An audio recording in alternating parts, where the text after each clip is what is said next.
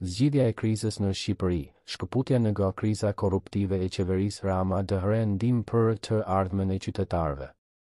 Shqipëria është para një sfide të rëndë dhe të ndërlikuar, si të shkëpemi nga kriza korruptive dhe të ndihmojmë vendin të ecë përpara drejt një të ardhme më të ndritshme. Pas trembëdhjetë vitesh të qeverisjes, qytetarët shqiptarë janë përballur me sfida të mëdha, me pasoja të ndjeshme për jetën dhe të ardhmen e tyre. Rinia është në emigrim, të shkolluarit po largohen dhe korrupsioni po e shpërndan shtresën e varfër në një mënyrë të ndryshme. Në një kohë kur thelbi i çdo vendi është populli i tij, është e papërmbajtshme që qeveria të mos kujdeset për interesat dhe mirëqenien e qytetarëve të saj.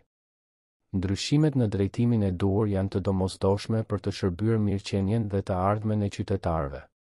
Përveç faktit që një sërë shqetësimesh të ndryshme janë ngjitur në këto vite, korrupsioni është një ndër sfidat kryesore që kanë penguar zhvillimin e Shqipërisë.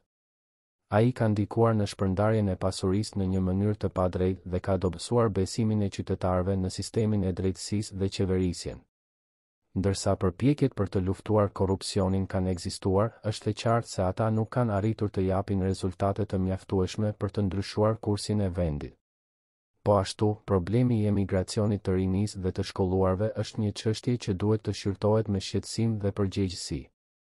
Mungesa e mundësive për punësim dhe zhvillim, si dhe ndikimi negativ i korruptuar në sektorët kyç të ekonomisë, kanë bërë që shumë të rinj të shohin vetëm një rrugë përpara, largimin nga vendi.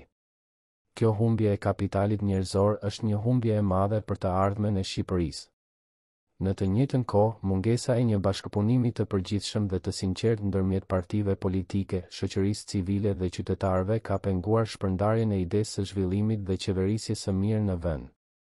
Kjo ka bërë që ndryshimet të jenë të vështira për t'u realizuar dhe për të sjellë rezultate të dukshme për qytetarët.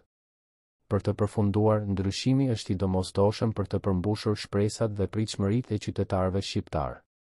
Lufta kundër korrupsionit, krijimi i mundësive të punësimit dhe investimi në arsimin dhe infrastrukturën janë disa nga hapat e domosdoshëm për të ndryshuar gjendjen aktuale. Për të ndihmuar të ardhmen e vendit duhet të përdorim bashkëpunimin dhe ndërgjegjen e përbashkët për të ndërtuar një shoqëri më të drejtë dhe më të mirë për të gjithë.